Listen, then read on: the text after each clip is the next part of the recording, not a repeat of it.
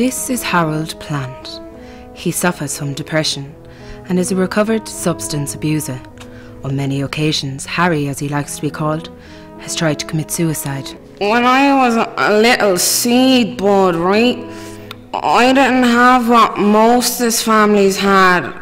Like, I didn't have no parents, like, no roots and shit.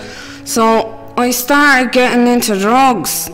I used to inject three litres of Miracle-Gro every day just to get buzzed out of my skull, bud. At just age one, Harry overdosed on weed killer. I just wanted to end it all. I never got the chance to grow up uh, outdoors, bud.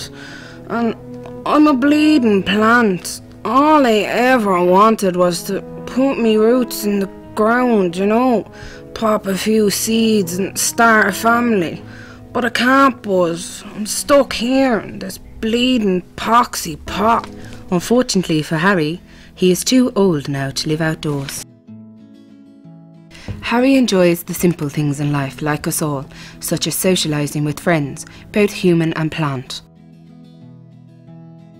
and has had many sexual relationships. I used to go out with Harry. God, he was some, you know, but he left me for a rose, little prick, and hear me carrying his seed. If you see Harry, tell Harry, right, to leave me alone. Ah, Thorn Man. The name says it all, innit?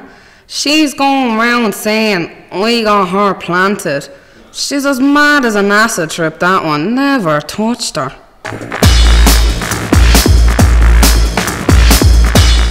Recently, Harry passed his full license driver's examination.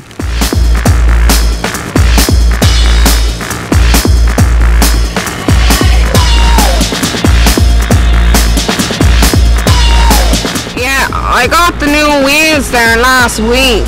Beauty bud, innit? She's she's faster than a Ferrari on speed and smooth like a shaved arse. For picking up the ones like picture.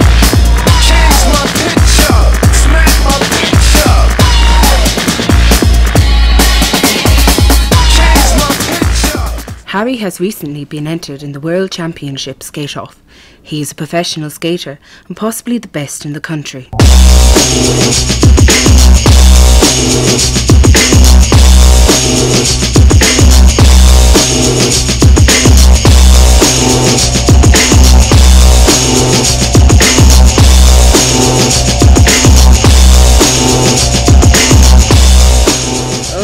People look at me and they be thinking, how in the Skittles rainbow is he a professional skater? And I know why they think that. I know why. Because I don't look like a skater and I don't dress like a skater, but I am a skater and I love it. I love it. If it wasn't for skating, bud, I'd probably be dead. It, it saved me life.